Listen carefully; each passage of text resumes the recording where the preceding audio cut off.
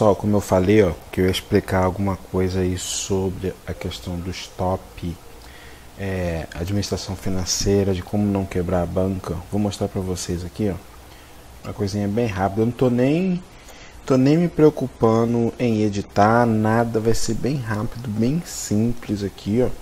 Ainda aqui, ó, dentro do mesmo domingo que eu já acabei de falar com vocês, ó. Deixa eu até abrir aqui para mostrar, ó. Fiz lá correndo. Já vou mostrar aqui para vocês, ó. Data e hora de hoje, ó. Data e hora de hoje. A data e hora de hoje. Passou aí, ó. Eu acho que menos de 20 minutos, né? Entre um, um vídeo e outro. Tô gravando esse aqui, o outro foi só um bate-papo para mostrar um negócio para vocês. Agora aqui, ó, mostrar para vocês o que, que eu ensino no nosso curso sobre gerenciamento de banca. O que, que eu ensino sobre gerenciamento de banca? Vamos lá. Existem duas maneiras de você administrar sua banca. Existe a maneira que eu acho correta e a maneira que a maioria ensina por aí, que eu não concordo com ela. Vamos lá, vamos dar um exemplo digamos que o cara quer começar a banca dele, o que eu acho ideal, tá? Isso aqui é até respondendo a muitas perguntas que me são feitas todos os dias. O que, que eu acho ideal de uma banca para começar? 100. 100 dólares, 100 euros, 100 libras, 100 yen. Você vai escolher o que, que você quer trabalhar. O mais comum é dólar, né? Porque o pessoal gosta de trabalhar aí, vamos dizer, uma moeda forte, uma economia bacana, uma moeda que não tem grandes oscilações, o dólar e o euro, digamos assim. São essas duas potências. Vamos dizer que você escolheu trabalhar com 100 dólares. Ah não, escolhi trabalhar com 100 reais. Vai ser a mesma coisa. Tiago, quanto que é o ideal de eu ganhar por dia? Eu, em particular, acho uma banca sólida para você ganhar por dia 10%. O que, eu, o que eu acho ideal, 10% ao dia. Porque se você pegar aí um tesouro, uma Selic, um LCA, um LCI, um LC, um CDB. Do jeito que teve essa queda aí na Selic, eu não sei quando que você vai estar tá vendo, como eu já botei a data de hoje, a gente sabe que teve uma queda de Selic. Então, todos os investimentos, um fundo de investimento, nada vai estar tá produzindo uma rentabilidade de 10% nem ao ano, do jeito que as coisas estão aí nessa fase que eu estou falando hoje, data de hoje você não vai conseguir um, um 10% do seu investimento nem ao ano. Então por que, que eu não iria querer 10% do meu investimento ao dia? Mas quem tem a mente de pobre, o que, que a mente de pobre ela vai pensar? Não estou falando de ser pobre economicamente, mas pobre de espírito, de alma, aquela miséria. O que, que a mente de pobre ela pensa? Poxa, eu vou ganhar só 10. A mente de pobre vê isso. A mente de investidor que ele vê, em cinco dias, em uma semana, esses 10 se transformarem em 50. Isso aqui é a mente do investidor. Aí o investidor ele começa a pensar, poxa, semana que vem eu já tenho 150. Se eu trabalhar isso em um mês, aquela banquinha merrequinha micharia que começou de 100 se tornou uma banquinha de 300. Aí ele começa a pensar, ele fala, poxa, então vou fazer 10% mês que vem dessa minha banquinha. Esses 10% de 300 agora se tornaram o quê? 30 por dia. Esses 30 por dia em, em mais um mês, de segunda a sexta, você vai ter transformado aquilo ali em 900. Se você for inteligente, você administrar e seguir regras, que é o mais importante é seguir regras, você trabalha dois, três dias aí, você já vai ter uma banca de mil. O seu mês aí ele não vai ser de vamos dizer, um mês de 30 dias. Você só vai mudar quando você reverter isso daí para mil. Aí quando você tiver em mil, isso aqui em dois, três, quatro meses que seja, não sei qual vai ser o seu, seu perfil de trabalhar, você consegue aí fazer 100 ao dia, porque 10% de mil, 100. Você já vai estar fazendo 100 por dia. Ah, mas eu, eu achei que eu ia fazer 10 e ia ganhar. Não, 10 foi o que você começou. Você vai trabalhando e evoluindo aquilo ali. Aquilo ali vai te dando lucro com o tempo. Porque esse mercado aqui não é para ansioso. Se você olhar todas as pessoas que estão tendo sucesso no mercado hoje, pode pegar todos que estão aí. Todos nós temos uma história. Todos nós começamos de algum lugar, temos um ponto de partida. Então você também tem que ter o seu ponto de partida. Você não pode querer colocar 100 de banca e já querer ganhar mil por dia. Coloca 100 de banca já quer ganhar 100 por dia. Tem que ter uma administração lógica das coisas, ok? Então vamos voltar aqui, ó. Com aqueles mil que eu conquistei, agora eu tenho 100 por dia. Se isso aqui for em dólar, estamos falando aí de média de, vamos dizer aí, 350 por dia em real. Esse 350 por dia de segunda a sexta você transforma em uma rendinha de aproximadamente 7 mil. Contando taxas, descontos, essas coisas aí. Vamos dizer que você chega a 7 mil. Eu conheço quantas pessoas. No entanto, que eu tive um aluno que ele contando para mim que ele tinha uma empresa que era uma empresa de automobilismo, não, tem uma empresa, não sei o que, personalização de carro, pá, pá, pá, contando, contando, contando, contando aquela história, cantando, contando, contando vantagem que a empresa de carro dele, não sei o que, fazia isso, fazia aquilo outro. Quando eu mostrei isso aqui para ele de 7 mil ao mês, ele falou, porra, nem minha empresa me dá 7 mil de lucro ao mês. Então o cara que se gabava de ser empresário, a empresa dele não dá 7 mil por mês. E aqui você tendo administração, fazendo tudo certinho, tudo direito, você pode dar 7 mil ao mês, fácil, brincando, bem tranquilo. Basta seguir regras. Teve uma pessoa que falou para mim, Thiago, eu quero fazer o curso, eu já tenho aí programado 15 planilhas. Para o dia que o mercado tiver assim, eu uso a planilha tal. O dia que o mercado tiver assim, eu uso a planilha, eu uso a planilha Y, eu uso tal e tal e tal e tal planilha. Ele contando para mim de todas as planilhas que ele usa, que ele tinha. Porém, é, ele falou assim para mim depois no final, ele falou, poxa, Thiago, ele queria ser meu aluno. Ele até acabou nem fazendo curso, porque teve um imprevisto lá na família dele, detalhes. E ele falou assim, Thiago, é, aquelas 15 planilhas que eu tenho, porra, eu vou começo a fazer minhas coisas, começo a treinar ali, boto meu dinheiro, coloco pouco, ele ele era uma pessoa que trabalhava com 70, 80 dólares assim por semana que ele colocava ali, mas já é um prejuízo muito grande você perder isso daí. Para ganhar é pouco, mas para perder é muito. Ele falou, Thiago, eu faço todas as planilhas, tenho tudo lá, mas na hora eu não consigo seguir nenhuma. Aí eu virei para ele, mas para que você tem tanta planilha? Ele falou, não, para mim controlar, para mim fazer as coisas regradas. Eu falei, o que, que adianta você ter 15 planilhas e não seguir nenhuma delas? Planilha não dá lucro, planilha não faz mercado. Por isso que eu fico indignado quando vejo esses pastéis aí vendendo as planilhas para segredo de administração, essa coisa toda. Tudo é mentira, tudo é enrolação, é para ganhar dinheiro e arrancar dinheiro do pessoal sem ensinar nada. Eu acho o seguinte, ó, uma hora dessa eu poderia estar fazendo um milhão de coisas, mas eu estou aqui conversando com vocês. Então significa o que? Eu quero ter uma remuneração por isso. Sem dúvida. Meu tempo é dinheiro. O. Não é pelo meu conhecimento, por esses anos todos de estudo, mas sim pelo meu tempo, que eu poderia estar fazendo um milhão de coisas e eu estou aqui agora dedicando esse tempo para vocês. Então eu jogo limpo, ok? Não tem pilantragem aqui de afiliação para dizer que não cobro nada e no final você vai lá, coloca dinheiro, eu ganho dinheiro e arrebenta daí você quebra sua banca e se destrói, como acontece com muitos por aí. Ok? Então aqui o que? Você vai pagar para aprender e vai aprender. Totalmente diferente. Eu só desisto de um aluno quando ele desiste dele mesmo. Falei uma vez, falei duas, falei três, a quarta não falo mais. Quer aprender, aprende, ok? Então o que acontece, pessoal?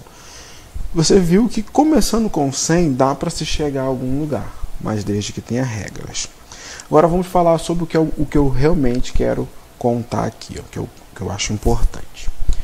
Vamos lá. Banquinha de 100, a mesma história. Ó. Quero fazer 10% ao dia. Duas maneiras de se fazer. A que eu acho certa e a que todo mundo ensina por aí. Existe a banca, a, a maneira de se trabalhar, que é o stop. Que ele vai ser técnico e tem o stop que vai ser financeiro, que você vai estar visando dinheiro. O que, que seria o stop técnico e o financeiro? É um totalmente diferente do outro. Primeira coisa que o cara tem que ter quando ele acorda, quando ele vai operar, ele tem que ter um alvo. Quanto que eu quero ganhar? Ah, hoje eu quero ganhar, vamos dizer, 10% da minha banca, 10% da minha banca. Vou mostrar aqui o jeito errado de se fazer para depois mostrar o certo, tá? Quero ganhar 10% da minha banca, ok. E o que, que eu tenho que ter como meu limite? Um limite de quanto que eu posso perder. Eu posso ganhar X e posso perder Y. O que, que seria o quanto eu posso ganhar? Então significa que. Esse é o jeito errado, tá? É o stop financeiro. Vou mostrar para vocês o financeiro para depois mostrar o técnico. Vamos lá. Eu tenho 100 de banca, mesmo exemplo, quero fazer 10%. É, significa que eu vou parar quando eu chegar a 110, ok? 10%, 110. E quanto que eu posso perder? Perder, eu posso perder sempre um terço daquilo que eu quero ganhar. Bote isso como meta. Nós que já operamos em bolsa, nós sabemos que existe uma regrinha lá que é o seguinte: sempre eu vou visar ganhar três vezes mais do que aquilo que eu estou arriscando. Por exemplo, se eu estou querendo ganhar 10, eu posso arriscar um terço desses 10. No mínimo é o 3 por 1. Ou até você pode fazer 5 por 1, mas vamos dar o um exemplo aqui de 3 por 1, que é o básico que a gente fala na Bolsa de Valores. Então, vou pegar 10, dividir por 3, vai dar 3.333, então vamos colocar 13, vamos arredondar para menos. Então, eu posso ganhar, o meu alvo de ganhar é 110 e o meu limite de perder são, é, é chegar a 3, ok? Então, seria igual eu chegar a 97. Entenderam isso aqui? Quanto eu quero ganhar, 10% da banca, quanto que eu quero perder, um terço daquilo que eu quero ganhar. Sempre essa é a regra que nós damos na bolsa, a regra básica mínima. Embora algumas vezes nós usamos o 5 para 1. Então vamos lá, eu não concordo com essa maneira, porque ela é um, ele é um stop financeiro. Como que seria isso daí? Eu vou parar quando chegar a 110 ou parar quando chegar a 97. Comecei a fazer minha operação, Vamos dizer que eu fui para 101. De 1 em 1. Fui fazendo minha operação, agora já estou com 105. Vamos lá, passou o tempo, fui fazendo, fui fazendo, fazendo. Estou com 107. Agora estou com 109. Travou aqui, vamos lá, estou com 109. Falta só uma para me ganhar, para me chegar a meus 110. Nisso que eu fui fazer minha última operação, perdi, fui para 108. Aí fiquei mais nervoso, fui para 106. Dos 106 voltei para o 108. 108 voltei para o 109. 109 eu fui para 107. 107 eu fui para 105. 105 eu fui para 101. 101 recuperei tudo de novo, cheguei em 109. Passei o dia inteiro nessa putaria. Quando pensa que não, eu cheguei em 97. O que eu tenho que fazer? Eu tenho que parar. Porque o meu limite era chegar a 97. Porém, a gente para, você para, aquela pessoa que trabalha com o stop financeiro faz o quê? Ela para. No momento que ela parou, vai criar uma grande indagação, uma grande interrogação para ela. Ela vai falar assim: por que, que eu não parei com os meus 109? Por que, que eu não parei com 108, com 105, com 106? Ou até com os meus próprios 100? Aí ela vai, olha e fala: Não, eu fiz o que estava mandando a regra. A regra diz para me parar com 97. É uma regra que você faz ela certa, porém ela é a maneira errada de se operar. Porque tudo aquilo que você ganhou, ele não fica no seu capital enquanto você não chegar naquele alvo que você queria, que era os 10 de lucro. Agora eu vou te mostrar uma maneira que nós desenvolvemos dentro do nosso curso de opções binárias Trader Sniper, que é o seguinte, é você preservar aquilo que você já ganhou. Vamos lá, banca continua sendo de 100 alvo continua sendo 10%. Ok? Porém, agora o stop ele não é mais financeiro. O nosso stop agora ele vai ser técnico. O que é um stop técnico? Com uma estratégia, com regras a serem seguidas. Qual vai ser o meu alvo? Continuo tendo um alvo. Alvo é quanto eu quero ganhar. Limite, quanto que eu posso perder. Querer perder ninguém quer, quanto que se pode perder. Vamos dar um exemplo aqui, ó, que o meu alvo continua sendo os 10%, então eu vou fazer 10 ordens para me chegar aos meus 10%, ok? Cada ordem minha vai ser 1%. Eu quero fazer 10%, cada ordem minha vai ser de 1%. Quanto que eu posso perder? Eu posso perder três ordens das 10 que eu vou executar, porque é um terço, lembra? pego o valor que eu quero chegar e divido por 3 e vou operar um terço daquilo, meu limite.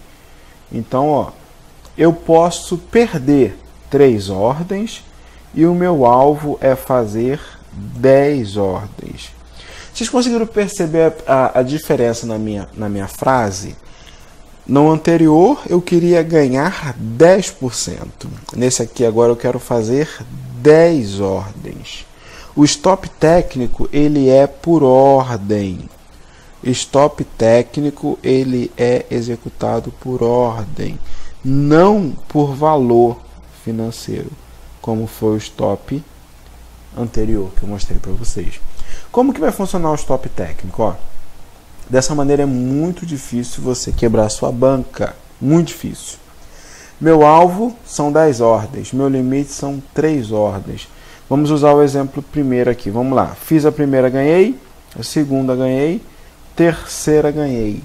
Se eu perdi na terceira ordem, o que, que vai acontecer? Eu já perdi uma ficha das três que eu tenho. Eu torrei agora aqui ó, uma fichinha das três que eu tenho para torrar.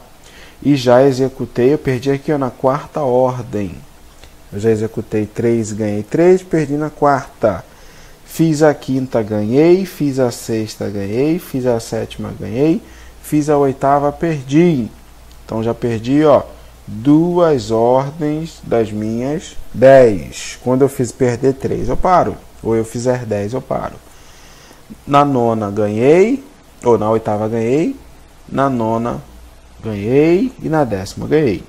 Então nós temos aqui, ó, 1, 2, 3, 4, 5, 6, 7, 8, 9, 10. 10 ordens realizadas. Então eu paro a minha operação nesse exato momento. Mas, Tiago, a intenção não era fazer 10%? Não, a intenção era fazer 10 ordens. Essas 10 ordens sendo completadas e acertadas todas iriam me dar 10%. Conforme eu perdi duas aqui, ó, vai estar tá me dando 8%. Aí eu te pergunto, o que, que é melhor? Sair com 8% ou sair no negativo, como aconteceu naquele outro exemplo que eu mostrei? Naquele outro exemplo, você chegou pertinho dos 90 ou do, dos 100, né? Dos 110, mas conforme você não tinha nenhuma trava de segurança, que seria esse stop técnico aqui, você só poderia parar quando chegasse ao valor financeiro. Aqui você para quando chega ao número de ordens o seu stop ele vai ser por ordem e não por valor financeiro. Dica preciosíssima. Olha aqui, ó. Você não precisou parar com 97 para deixar de operar, para o seu stop ser acionado. Aqui ó, você saiu ainda no lucro, mesmo perdendo as duas ordens. Para você ter prejuízo, é só se você perder as três primeiras. Tem que ser muito ruim para perder as três de primeiras de primeira, ok? Exemplo também aqui, ó. Vamos dizer, fiz a primeira ordem, ganhei. Segunda, ganhei. Na terceira eu perdi. Quarta ganhei, quinta ganhei, sexta perdi. Sétima ganhei, oitava perdi. Que, que eu vou fazer? Vou parar por aqui, porque já se executou as três derrotas. O que acontecer primeiro eu paro. Ou eu faço as 10 ordens, ok? Ou eu vou fazer e perder apenas as três. Fiz uma, ó. Deixa eu botar aqui as três, ó. Perdi essa, essa e essa. Eu também paro. Ou eu paro no positivo realizando as minhas 10 ordens, ou eu paro no negativo realizando as minhas 3 ordens de derrota.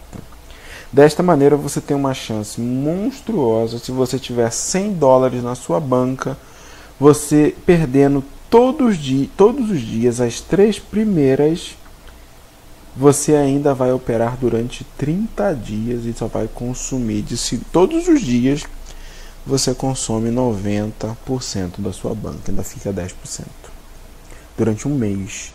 Perder todo dia as três primeiras, nem a probabilidade te permite isso nem a probabilidade te permite fazer isso, ok? Não tem chance disso dar certo. Então o que, que você vai fazer? Recapitulando, explicando para concluir. Banca 100. Alvo, quanto eu quero ganhar. Limite, quanto que eu posso perder, meu limite. O que, que eu vou fazer? Vou ter uma meta de operar um número de ordens que vão me dar aquele lucro que eu preciso. Se eu quero ganhar 10%, quantas ordens eu tenho que fazer para 10%? Ah, Thiago, eu quero fazer meus 10% em 5 ordens. Ok, você vai fazer em 5. Quantas dessas 5 você pode perder? Ah, pode perder duas, pode perder uma, pode perder três. Vai depender da sua administração, ok? O que, que você vai fazer? Ó? Você vai colocar aqui o número de ordens que você precisa fazer. Ah, eu quero fazer 10 ordens. Ah, eu posso fazer 5 ordens para perder. Quantas eu posso perder? Ah, eu posso perder 3 ordens. Você vai estipular o número que você pode perder, o número que você pode ganhar. Beleza? Em cima disso daí, realizou 10 operações, para. Ah, mas dessas 10 eu só ganhei 8. Beleza? Para. Ah, realizou as 10 operações, dentro daquelas 10 ali perdeu 3. Para. Ou eu vou parar realizando 10 ou eu vou parar perdendo as 3. O que acontecer primeiro é onde vai acontecer, onde vai influenciar o meu stop. O meu stop ele vai ser baseado ou em 10 ordens realizadas ou em 3 ordens negativas, beleza? Façam esse teste Contem para mim, assim como a menina contou lá no outro vídeo, que ela viu nossa explicação das linhas mágicas lá, conseguiu fazer 14 ordens contra 14 positivas contra duas negativas, tá bom? Qualquer dúvida que vocês tiverem sobre isso aqui, vocês mandam o WhatsApp para mim, meus contatos estão aí embaixo. E-mail é um pouco mais difícil de eu responder porque eu não abro toda hora. Toda vez que eu abro e-mail é o momento que eu estou dando aula, tá? O nosso curso esse mês de fevereiro aí vai estar aí com algumas programações bem especiais aí para os novos alunos. Os alunos que já estão aí começando também vamos estar aí dando algumas coisas para eles começarem, para eles iniciarem a ganhar dinheiro de uma maneira bem simples, objetiva, até o iniciante, aquele que está começando agora do zero. Porque todo dia me perguntam, Tiago, eu estou começando agora, eu não sei nada, será que eu vou conseguir? Consegue, pode ficar tranquilo que você consegue. A não ser se você não tiver o perfil, não tiver o dom, que é uma coisa que eu sempre falo, tanto em aula quanto aqui no YouTube. O dom, ele é tudo, o perfil ele é tudo. Eu mesmo acho a profissão de médico a coisa mais linda do mundo, mas eu não conseguiria ver uma pessoa aberta eu fazer uma operação. Então eu não tenho dom para isso, ok? Eu acho lindo algumas profissões, mas eu não tenho dom, não tem como eu fazer aquilo beleza? A mesma coisa dentro do mercado financeiro, aqui é dom. Você tem que ter dom, tem que ter perfil, você tem que ser um administrador, você não pode ser ansioso, você tem que ter um controle financeiro muito grande.